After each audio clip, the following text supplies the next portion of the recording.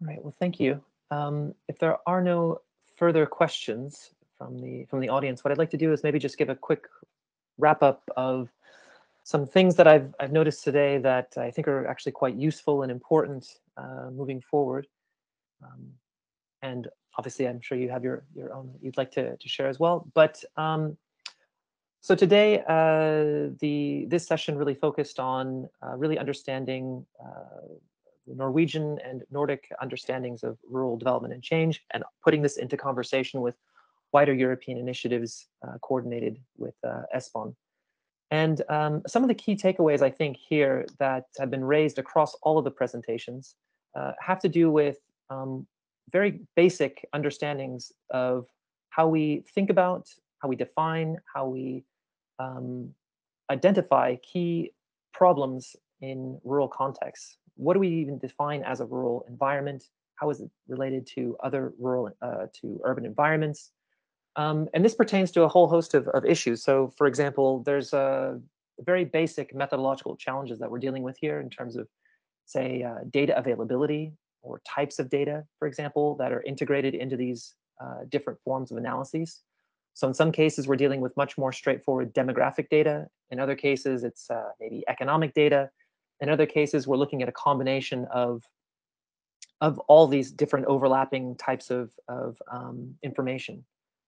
It also deals with a very, perhaps uh, not to get too philosophical, but very basic ontological problem. So what exactly are the drivers of, say, peripheralization and shrinkage? And how is it that this uh, helps us understand what exactly um, is going on in these rural environments and to what degree are these different drivers even relevant or salient for understanding how to address these from a very um, fundamental policy uh, framework? So, for example, I think uh, an, a, an, ongoing uh, conversation, I think that is has been implicit but not necessarily elaborated very much today, is um, the rural and its connection to the urban. And I think that um, the absence of, say, uh, indicator like housing from a lot of these debates and um, analyses, I think might actually open space for understanding these relationships uh, a bit more and helping us understand the connections between the urban and the rural a bit more, uh, uh a bit more. Um, beyond even say uh, digital connectivity, because I think the digital component is also really, really important here. That is, and that's been raised uh, on a number of occasions here today. Another question pertains to the sort of difference between relative uh, marginality, absolute marginality, um, singular forms of marginality, singular drivers of marginality versus, or peripherality as well, uh, versus compound forms of, of peripherality and, and, marginality. And I think the uh, the presentation by uh, the PROFECY presentation and uh, the uh, the escape presentation as well um, really gave, as, uh, actually in Anna's presentation by from Norway as well, these all sort of get at different pieces of what exactly is this, uh, are the different indicators that we uh, need to grapple with in terms of better understanding what is going on in these rural contexts and how they can help us understand what's going on in or compare them to other rural contexts elsewhere. Um, Another issue I think that's uh, really important that has been raised here on several occasions is uh, is a technical issue.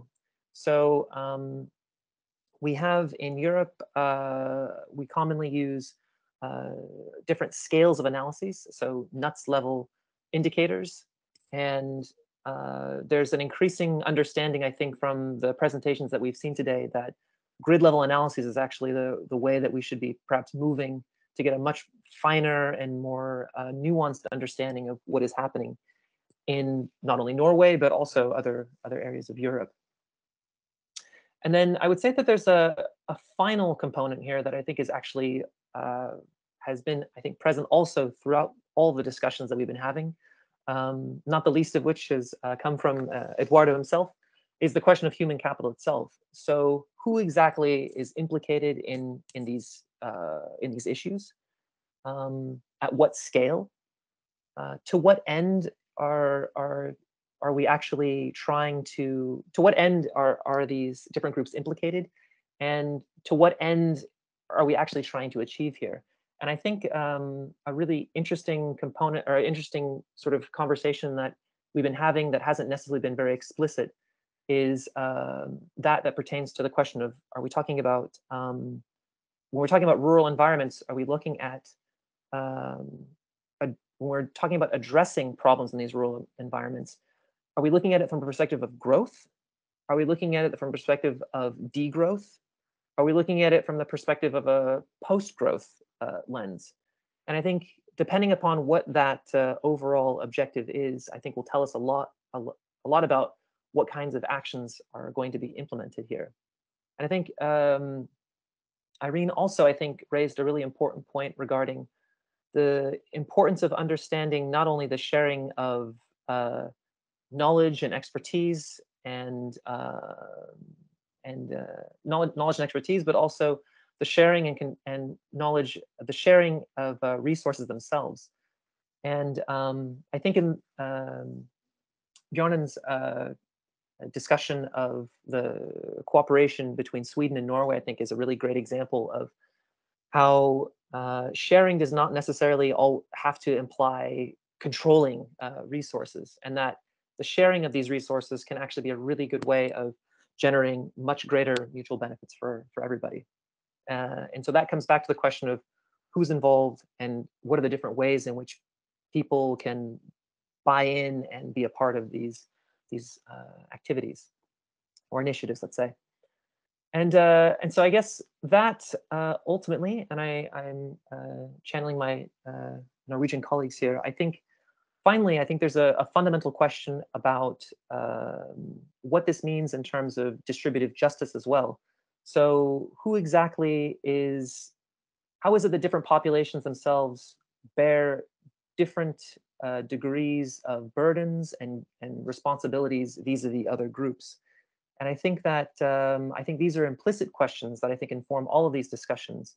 But um, I think going back to the question that uh, has been raised in previous uh, previously today is the sense that Europe is not only about uh, promoting a green green growth, let's say, but also uh, a, a, just uh, a just European community as well. And so I think, how is it that we can also think about um, very fundamental questions of justice and distributive justice uh, as it pertains to rural environments? And so um, I think for a final sort of sense of, uh, you know, are we really at a crossroads here? Um, what lessons can we take away? I think these are questions I think we need to leave open, and I think they should be very much, hopefully, informing uh, future discussions that are happening within Espon and uh, all of your your own uh, local um, administrations and work uh, more broadly.